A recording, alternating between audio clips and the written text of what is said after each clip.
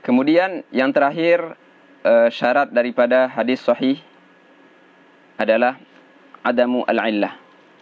Jangan sampai ada illahnya.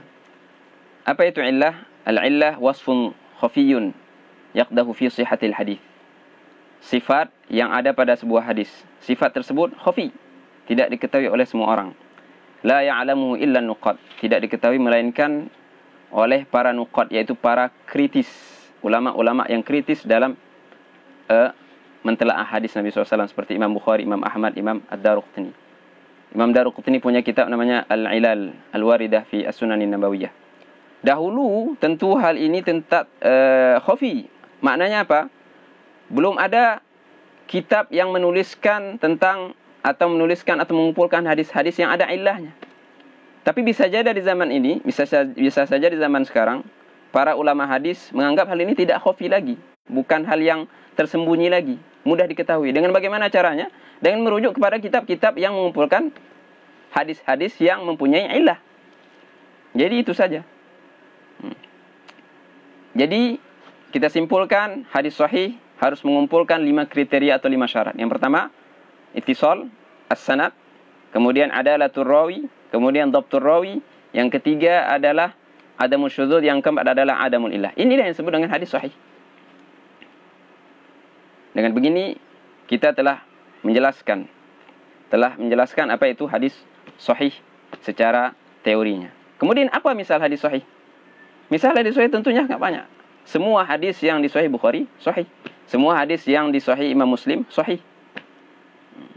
Salah satu contohnya adalah hadis Ibnu Umar radhiyallahu anhuma anna Nabi wasallam farada zakat al-fitri sa'an min tamrin atau sa'an min sya'ir ala hurrin wa 'abdin wa dhakarin wa untha wa saghirin wa kabir min al-muslimin wa amara an tu'adda qabla khurujin nasi ila as-salah mengenai zakat fitrah bahwasanya Nabi SAW mewajibkan zakat fitrah satu sa' gandum atau tamar diwajibkan atas setiap muslimin. Baik itu besar kecil laki-laki perempuan hur atau hamba sahaya dan Nabi memerintahkan untuk melaksanakannya sebelum keluarnya orang-orang melaksanakan solat Id. Ini hadis muttafaqun alaih. Imam Bukhari dan Imam Muslim meriwayatkannya daripada Ibnu Umar radhiyallahu anhu. Ini misal hadis sahihun li dzatihi. Adapun misal daripada hadis sahihun li ghairihi adalah hadis siwak. Abu Hurairah meriwayatkan annahu sami'a Nabi sallallahu alaihi wasallam qala laula an ashqa ala ummati la amartuhum bisiwaki 'inda kulli salatin kalaulah saya tidak memberatkan umatku, saya akan memerintahkan mereka untuk bersiwak setelah setiap ingin solat kata Nabi SAW. Hadis ini juga uh, hadis sahih tapi li ghairihi. Kenapa? Karena di riwayatnya ada seorang rawi yang keadaan terbaiknya adalah soduk. Apa arti soduk? Uh, itqannya tidak sampai kepada derajat yang paling tinggi. Hmm. Jadi doktunya bukan tam, tapi doktunya khafif. Wa huwa masyhurun bisidqi. Dan kalau dilihat biografinya khulasatu ahwali adalah saduqun. Ha, jadi inilah misal daripada hadis sahihun li dzati wa hadis sahih li ghairihi. Adapun hukum atau kedudukan atau posisi daripada hadis sahih baik li dzati atau li ghairihi di syariat kita tentunya hujjah. Apa arti hujjah? Bisa dijadikan argumen, argumentasi bahkan Salah satu argumentasi penting setelah Al-Quran adalah hadis sahih. Di halal dan haram fil ahkam atau fil furu' al-usuliyah inda al-ummah atau inda al-ulama bittifaq dengan kesepakatan para ulama. Jadi hadis sahih dipakai dalam halal dan haram apalagi fadail, apalagi targhib. Jadi seperti itu. Kemudian apa saja buku-buku atau kitab-kitab yang mengumpulkan hadis-hadis sahih. Tentu jamajak juga. Ada Muwatta Imam Malik. Ada Sahih Bukhari. Sahih Bukhari. Karyanya Imam Bukhari tentunya. Apa nama Sahih Bukhari? Nama Sahih Bukhari Al-Jami'u Al-Musnadu Sahih. Al-Mukhtasar min umuri Rasulullah sallallahu alaihi wasallam wa sunanihi wa ayyamihi. Beliau tulis berdasarkan isyarat seorang gurunya. Gurunya bilang kepada para murid, kalau ada di antara kalian yang mengumpulkan hadis sahih saja. Akhirnya dengan isyarat ini daripada seorang guru beliau menulis hadis sahih tersebut. Setiap hadis yang beliau tulis sebelum menulis sebuah hadis beliau lakukan apa beliau lakukan? Beliau istikharah dan beliau tidak menulis kecuali setelah istikharah dan setelah meyakini ke sahihan hadis tersebut. Kemudian sahihnya Imam Muslim yang namanya Al-Musnadu As-Sahih Al-Mukhtasar minas sunani binaqli al-adli anil adli an Rasulillah sallallahu alaihi wasallam. Ini adalah nama lengkap daripada Sahih Imam Muslim rahimahullah yang wafat tahun 261 Al-Hijriyah dan beliau adalah muridnya daripada atau murid daripada Imam Al-Bukhari. Oleh kerana itu beliau berkata laulal Bukhari lama jaa Muslim lama raha Muslim ja. Kalaulah bukan karena Bukhari, tidak ada apa-apanya Muslim ini. Oleh kerana itu mereka ada sebagian uh, daripada mereka yunshi'ul bait. Qalu li muslimin fadlun. Qultu al-bukhari a'la. Qalu al-mukarraru fihi. Qultu al-mukarraru ahla mereka bilang sahih muslim itu ada fadlunnya lebih baik. Kemudian saya bilang tidak. Sahih bukhari a'la lebih tinggi. Kemudian mereka jawab lagi bagaimana kamu bilang sahih bukhari lebih tinggi banyak mukarrar situ hadis-hadis yang berulang terus saya jawab hadis yang berulang itu atau sesuatu yang berulang itu ahla, lebih indah. Hmm, dengan begini, jumhur ulama menyatakan Sahih Bukhari lebih tinggi secara umum. Kitab Sahih Bukhari lebih baik daripada Sahih Muslim. Hanya saja Imam Bukhari mempunyai metode tertentu. Begitu juga Muslim masing-masing mempunyai metode tertentu dalam menyusun hadis-hadisnya. Kemudian setelah itu ada Sahih Ibn Khuzaimah. Muhammad bin Ishaq bin Khuzaimah yang wafat tahun 311 Hijriah. Beliau juga memiliki kitab yang mengumpulkan hadis-hadis sahih saja. Kemudian murid beliau Ibnu Hibban rahimahullah Muhammad Ibnu Hibban Al-Busti Muhammad Ibnu Hibban Al-Busti rahimahullah taala yang wafat pada tahun 354 Hijriah. Ha, beliau adalah murid daripada Ibnu Ishaq yang barusan kita sebutkan tadi. Dan Sahih Ibn Khibban ini disusun oleh hmm, kemudian disusun ulang oleh seorang ulama abad ke-8 Hijriah yang namanya Alauddin Al-Farisi wafat tahun 739. Di dalam kitabnya Al-Ihsan fi Taqrib Sahih Ibn Hibban. Sedangkan nama Sahih Ibn Hibban adalah At-Taqasimul Anwa'. Jadi, bagi siapa di antara kita yang ingin mentakhrid hadis daripada Sahih Ibn Hibban, boleh merujuk kepada Al-Ihsan ini. Hmm. Ketika dia merujuk pada ihsan, secara otomatis dia telah merujuk hadis itu daripada Sahih Ibn Hibban sendiri. Karena Sahih Ibn Hibban uh, belum dicetak. Hmm, belum dicetak. Makanya yang terkena adalah ihsan. Jadi, katakan seperti ini. Kita mentakhrid hadis daripada Sahih Ibn Hibban. Akhrajahu Ibn Hibban fi sahihihi. Kama fil ihsan. Kemudian, setelah Sahih Ibn Hibban ada kitab namanya Al-Mustadrak ala Sahihain. Karyanya Imam Muhammad bin Abdullah bin Hamduyah bin Al-Bayy' Abu Abdullah Al-Hakim An-Naisaburi yang dikenal dengan ya, Al-Imamul Hakim. Ha, hadis riwayat Hakim katanya. Ha, itu adalah Al-Imamul Hakim di dalam kitabnya Al-Mustadrak. Beliau mempunyai kitab yang banyak. Akan tapi kitab beliau yang menyusun hadis sahih menurut beliau sendiri adalah uh, kitab yang bernama Al-Mustadraku ala As-Sahihain. Al-Mustadraku ala sahihain. Para ulama banyak mengatakan bahwasanya Imam Hakim menyusun kitab ini tentunya dengan nama Al-Mustadrak. Beliau meriwayatkan hadis-hadis sahih yang sesuai dengan syarat Imam Bukhari dan Muslim tapi Imam Bukhari dan Muslim sendiri tidak meriwayatkannya di dalam sahih mereka berdua. Akhirnya diriwayatkan diriwayatkan oleh Imam Hakim sendiri di dalam kitab Mustadraknya ini.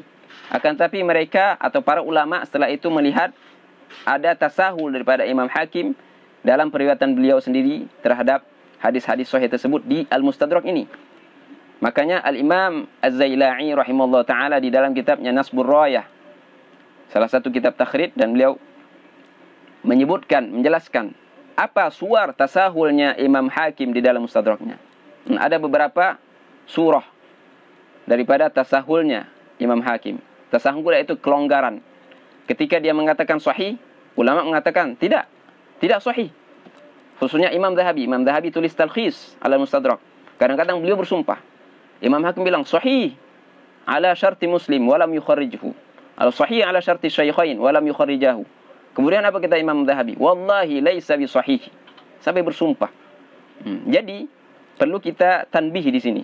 Siapa saja di antara kita yang membaca atau mendengar hadis yang diriwayatkan daripada Imam Hakim kalau dari Mustadrak atau dari yang lainnya di itu harus dilakukan penelitian atau studi daripada studi daripada hadis itu.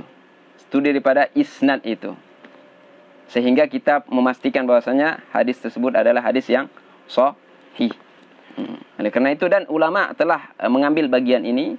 Jadi tashih, pentasihan hadis kepada Imam Hakim, Imam Hakim harus dibarengi atau diiringi dengan pentasihan atau kesepakatan daripada ulama-ulama lain seperti Al-Imam Mudzahabi, Al-Imam Ibn Hajar atau imam-imam atau pada para ulama yang menulis kitab-kitab takhrij. Hmm. Kemudian ada namanya Sahih Ibn Sakan. Karya Imam Sa'id Ibn Sakan. Tapi hadis ini adalah uh, beliau menulis hadisnya tidak tanpa bersanad. Padahal beliau hidup di zamannya, di zaman riwayat. Kemudian ada lagi hadis atau kitab yang namanya Al-Ahadithul Mukhtarah.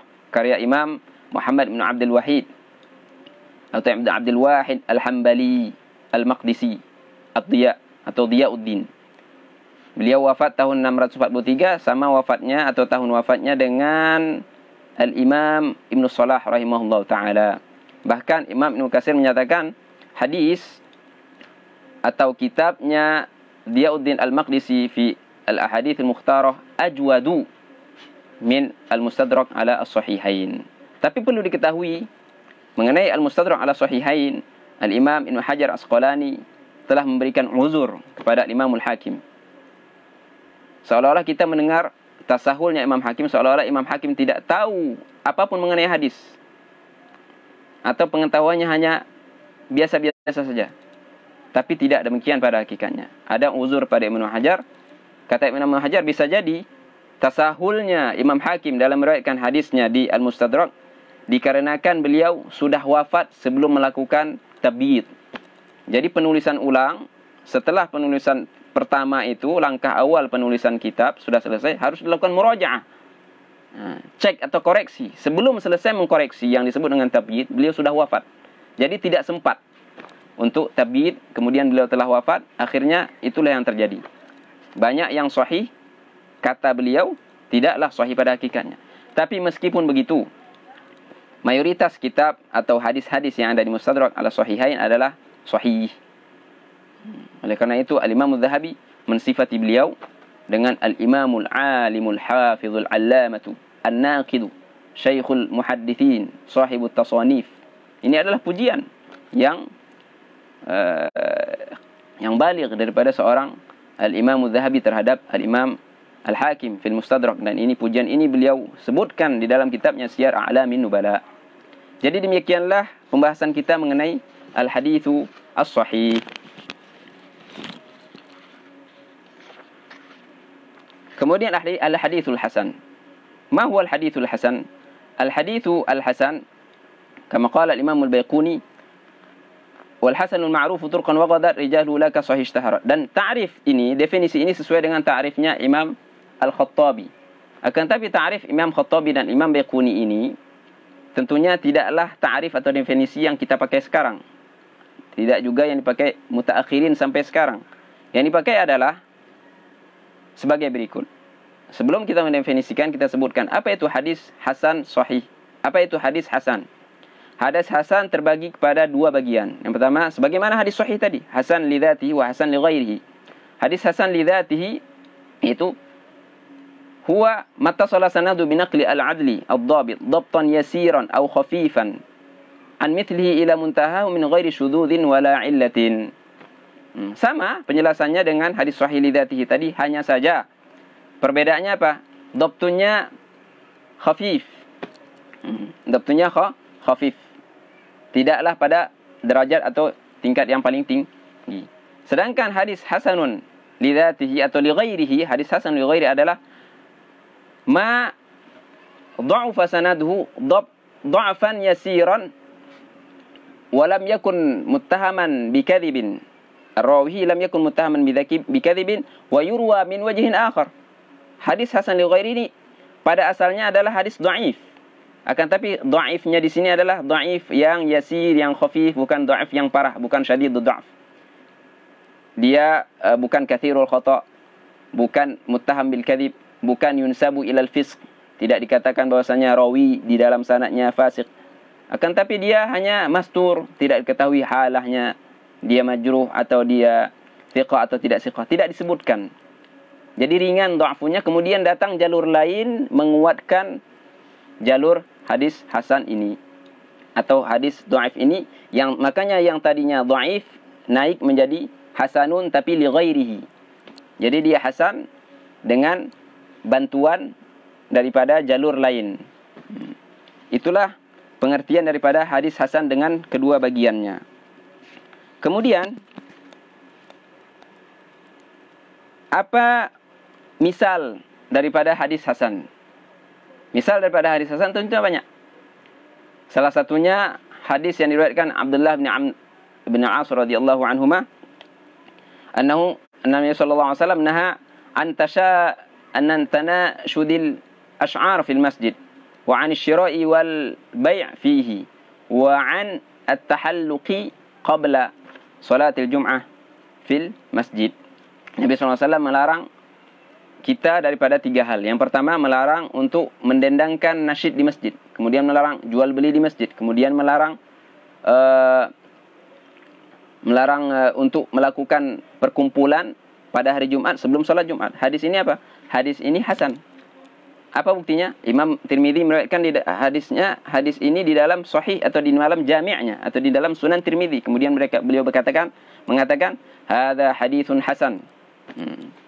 Itu contoh daripada hadis hasanun lidati. Adapun contoh daripada hadis hasanun li ghairihi adalah uh, salah satunya adalah hadisnya Ibnu Umar radhiyallahu anhu annahu qala Sallaitu ma'a Rasulullah SAW al-zuhra fi safari raka'atain wa ba'daha raka'atain. Dia berkata, saya solat bersama Nabi SAW di safar. Solat zuhur dua rakaat, kemudian setelahnya dua rakaat. Hadis ini di dalam sanadnya ada dua illah, ada dua masalah. Yang pertama, di dalam sanadnya ada seorang yang disebut atau yang namanya Hajjaj ibnu Artah. Beliau meriwayatkan hadis ini daripada gurunya yang bernama Atiyah. Atiyah meriwayatkan daripada Ibnu Umar radhiyallahu anhu. Hajjaj dan Atiyah kedua-duanya adalah saduq, akan tetapi kedua-duanya kathirul khata. Banyak salahnya. Kemudian kedua-duanya adalah mudallis. Kemudian Atiyah Syi'i. Akidahnya atau adalah Syiah.